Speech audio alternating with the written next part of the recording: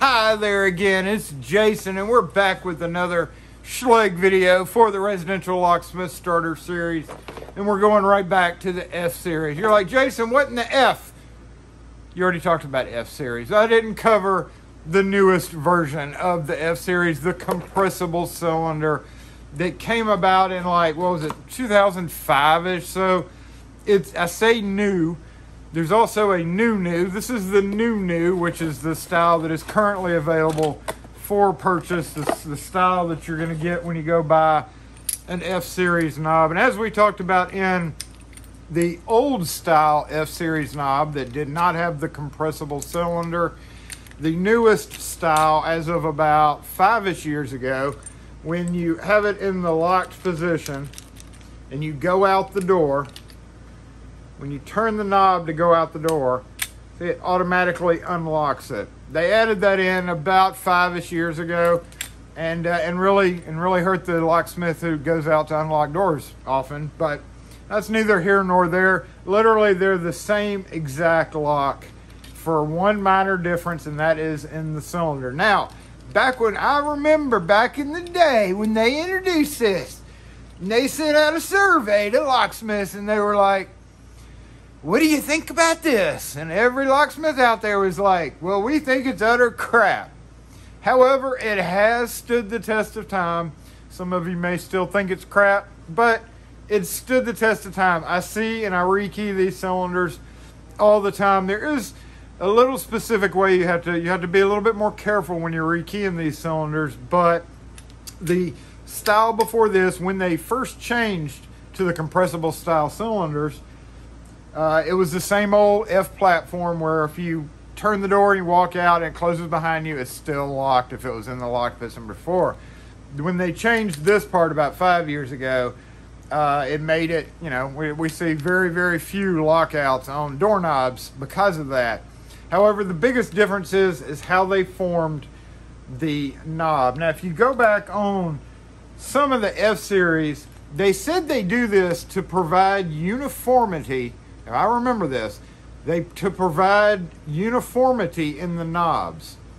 Now I don't know what the heck that meant because they, they like they wanted like for a while the F series had a smaller inner knob. It was the weirdest thing. Like it had a bigger like on the on the Plymouth style, which is just a smooth, you know, smushed ball front is what I call that.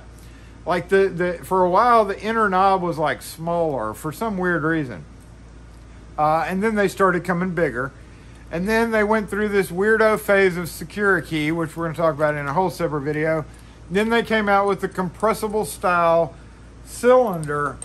And I guess it's because it makes the knobs look, you know, instead of having this extra, I guess, instead of having this extra ring, they came out with this weirdo compressible cylinder uh, and, and, we were all like, what in the crap is that? But you can see I've got one already picked here. I will say I mentioned Lishi with F-Series being a great, uh, a great way, you know, a good, a good version, a good way to, to pick these and turn them and do whatever you needed to get them off the door because as the doorknob, this was one of those that locksmiths had to learn to pick before there were ever the Lishis. On the original F-Series with standard pins, these work great. On the A series that we're going to be doing a video, they work great. Uh, D series, are a little bit harder because there's such spring tension on it.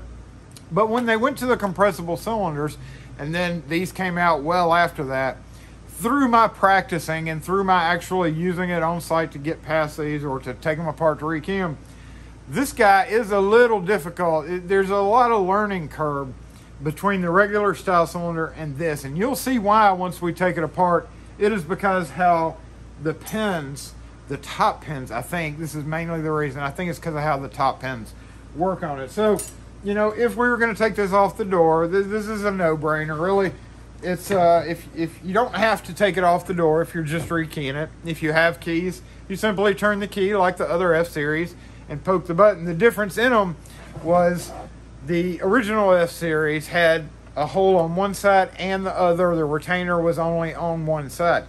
These, now that they're one-piece knobs, they've only got the retainer on one side. So when you get to a door, you can automatically pretty much tell that it's a, a smart key, or not a smart key, a F-Series, new F-Series, by the fact that there's only one poke hole. So let's go ahead and poke hole it. It's right there. see if you can see. Can you see that? Can you see that okay? Right there. See. Just turn this a little bit. See that? See that right there? We've got it turned. Again, it doesn't matter which side, which way. It could be, it's actually locked right now, and you can poke the retainer and pull it off. All right. Now this guy, when I lishied this to get it open, it took a while, and I did not feel any of uh, one and two pins. And that's because we have a cylinder malfunction. So let's go ahead and take this guy out. While I'm at the door, I go ahead and take this out because you don't want it falling sideways or whatever. And I'm gonna go ahead and if you look right, right in the back right there, you can push it through and sometimes that will push down and let you just push it right out. Now we have a problem because we've got some, some springs and stuff. The cylinder has exploded.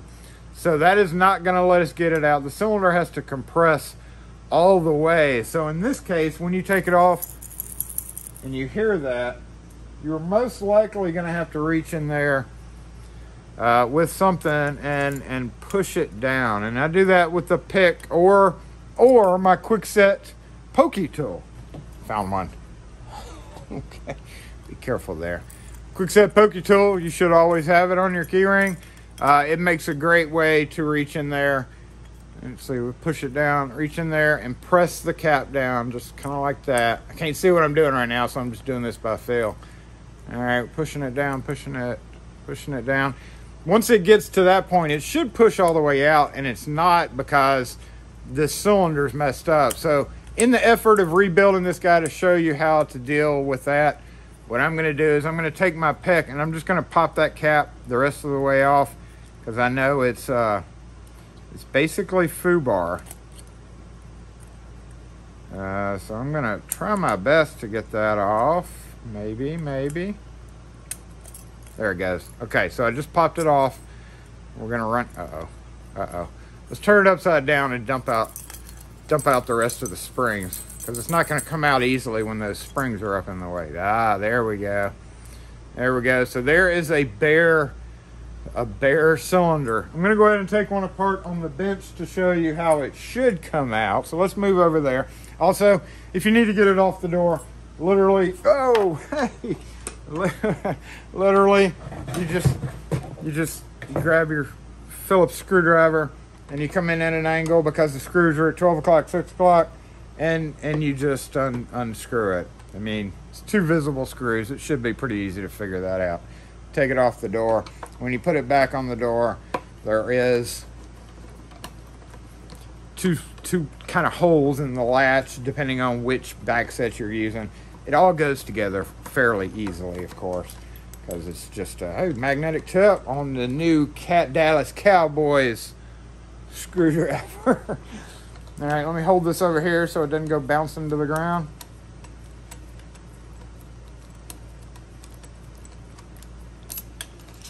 So there we go. Let's see, standard latch. They have not changed anything. Everything's pretty much the same as the old F-Series, besides the fact that you have these compressible cylinders now. Uh, they are also in levers, in case you're wondering. When you're putting this back on, typically if if this is horizontal, this bar that that's your unlock and your lock, then then the button needs to be horizontal. But just like in the other F series, you just kind of have to kind of have to wiggle it on. Just make sure that the uh, this part goes over the screw post correctly. But if it doesn't go on at 12 o'clock, 6 o'clock, then it's probably not on correctly. I'm going to go ahead and tighten these back down. Let's move over to the bench. Okay, as you can see, this one is picked as well to unlocked position on that one. Push in the retainer, pop it off, that stays on the door.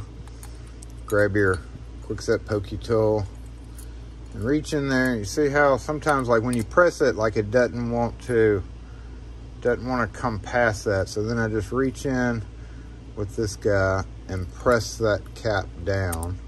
Once you press it down, you should be able to get it past there. So there's what a regular cylinder without it being blown off looks like. Little teeth grab into these little slots.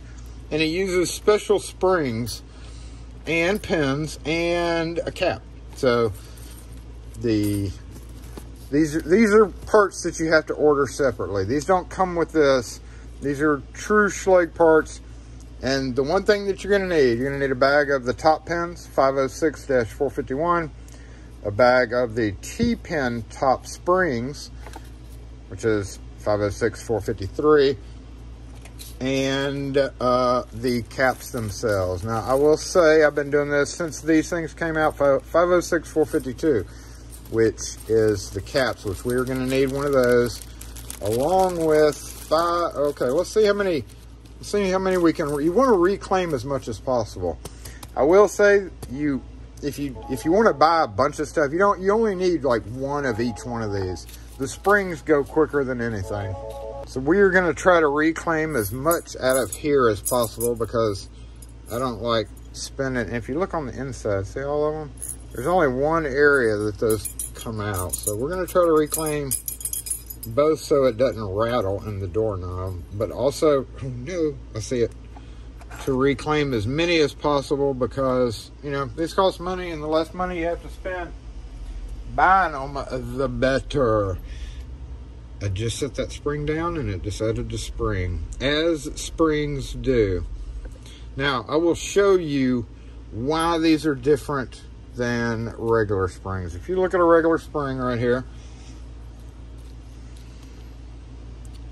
see how that has kind of a coil at the top? Focus! See how that has kind of a coil at the top? These are open, right? And that is because this pin, the top T-pin, has to go, I can't do this behind the camera, hold on. Just like that. So what's happening, oh, what's happening is this top T-pin won't go in a regular spring.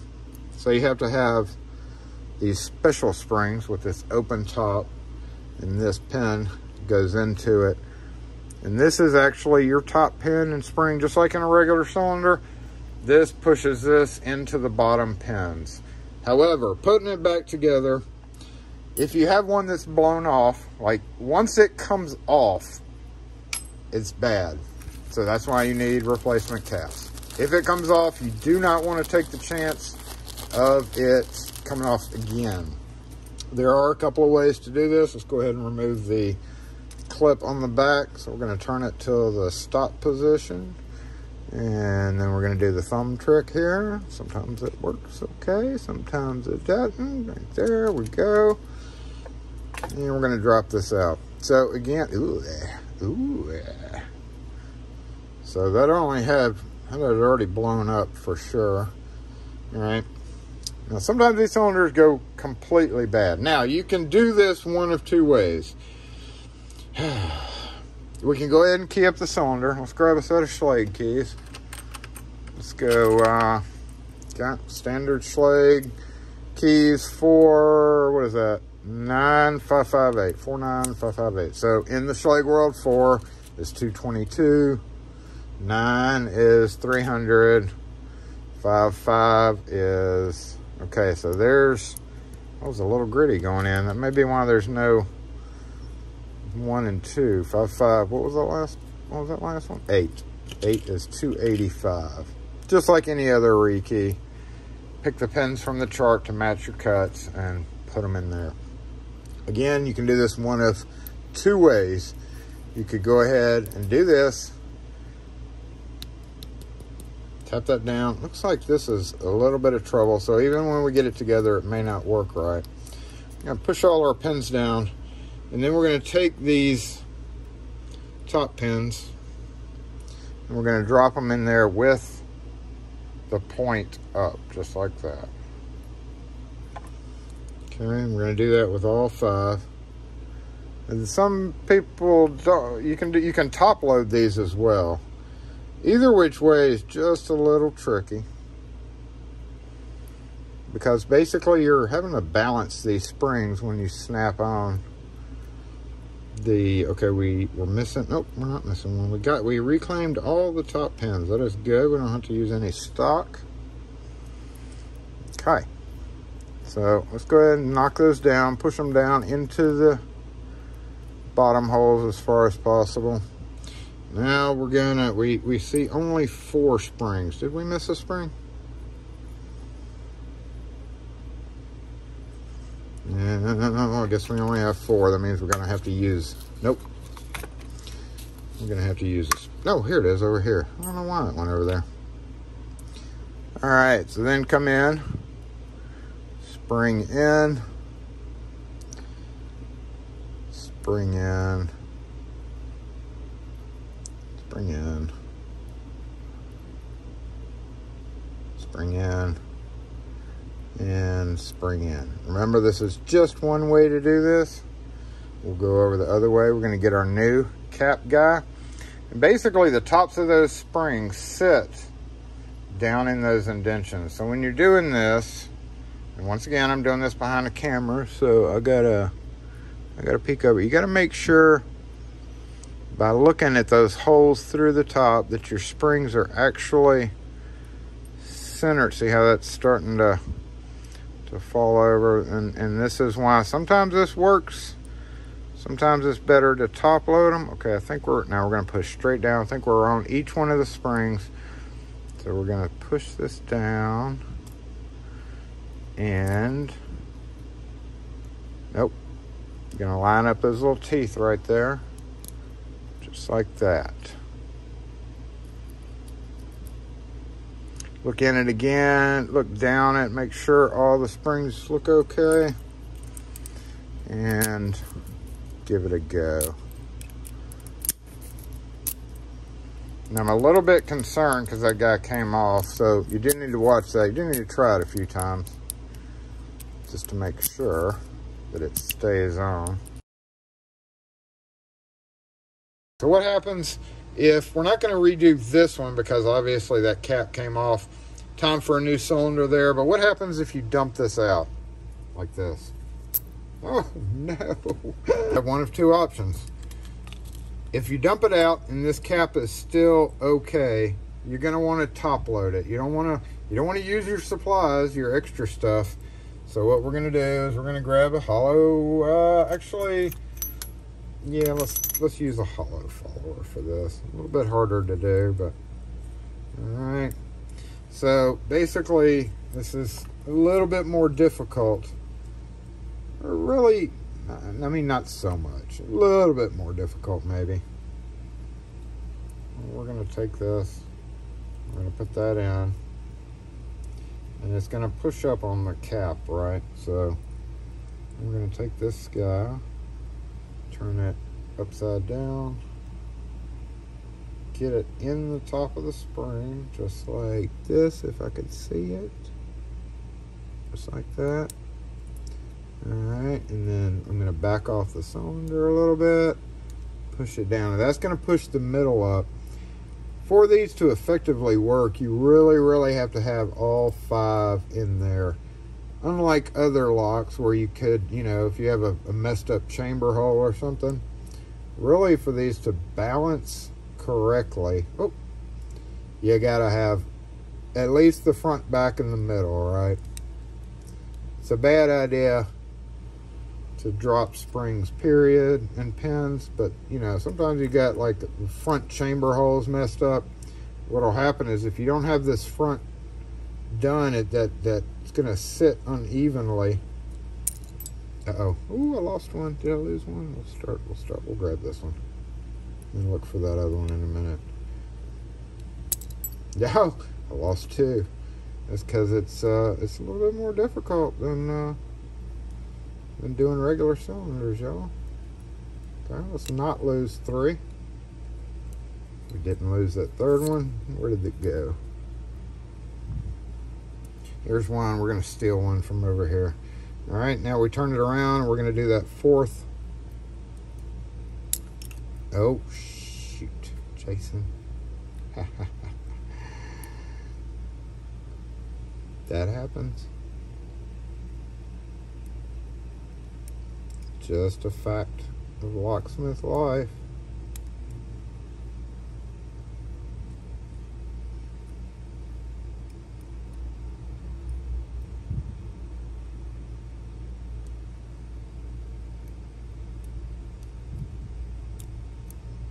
Okay, last one.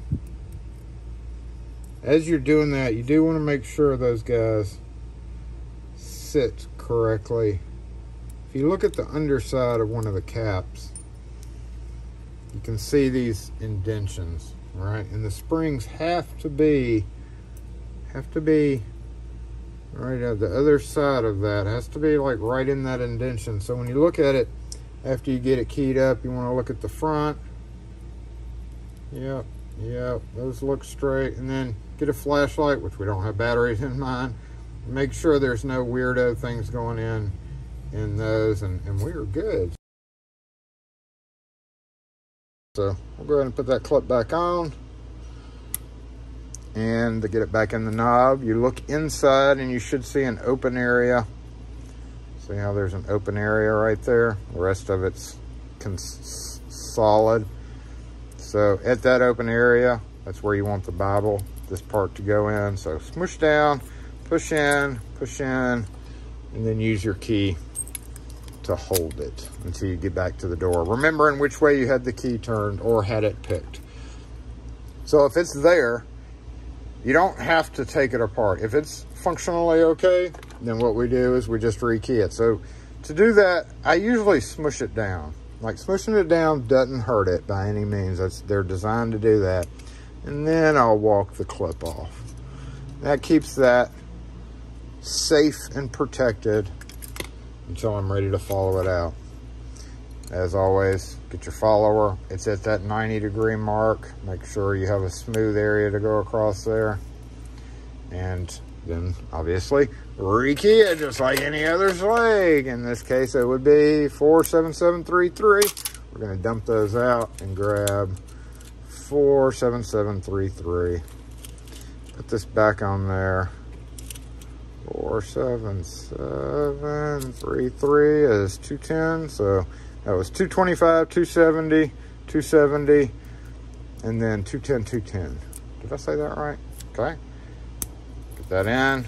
Make sure it works. Make sure it's not jamming up. Check your key. Put your clip back on. And that's how you rekey a Schlage compressible cylinder. Where did the clip go? Hello. Okay, we lost the clip. Fascinating. Oh, that's because it's a magnetic tip. Nah, it's stuck to it. Alright, boom. Key out, move this out of the way. Look for your open hole smush it down, push it in, grab your key to hold it still. Turn it the same direction it was. Uh, I think may have been this way on this one. No, maybe this way. Oh no, let's see. There. Push in. Usually what I'll do, okay, on, on almost all F-Series, I'll put it in with the key in it, pull the key out, then use the tip of the key to press that in, push it in a little bit further, and then turn the key to the right or to the left and make sure that it works. So that's how that functions. And let's go put this back on. I believe we had this picked to the locked position. So once again, we're gonna use our key, line up the retainer hole with the retainer that's there, push it in until it stops pull our key out, use the tip of the key, boom, push it in a little bit further, key back in, push it in even further until you hear it click, and check your key. And as always, if you did not take the doorknob off, which you don't have to, if you have a key and you're just rekeying it, as always, follow up by tightening the interior screws. Always make sure, we're missing one completely. Go to the truck and get a new screw. But always make sure your interior screws or snugged up. They do, you do have to angle your driver a little bit to get in there. That's why it's important to have that smooth shank and to have a quality driver so that makes it easier to get that screw out. Now, last thing, and we've done a what's inside video on this. One of the biggest failures of the F-Series is this latch. If you go to close the door and the latch bangs and it doesn't automatically, if you can't press this latch in, the latch is bad, has to be replaced. No other recourse there. So that's one of the biggest failings with the F-Series is having replacement latches. So if you're going to carry parts for Schlage F-Series, replacement latches is by far one of the biggest issues with it aside from issues with the compressible cylinder. And once again, that concludes yet another Schlage video. Next up, we're going to talk about SecureKey, and then after that, we're going to talk about A-Series. So stay tuned. Make sure and hit that like. Make sure and be subscribed so you know when that video comes out. We appreciate you watching.